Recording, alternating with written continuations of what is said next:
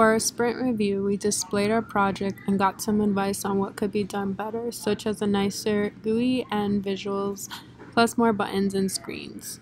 During our retrospective meeting, we decided that we should have more overlapping time between developers so that we can work on the project together and share our ideas.